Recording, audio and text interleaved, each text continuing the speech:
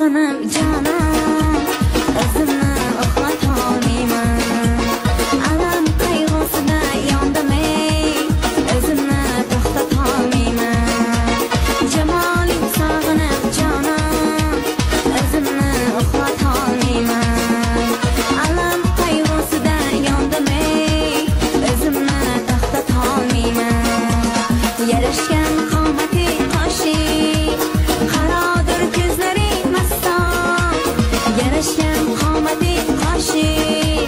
Karadır gözleri aslan.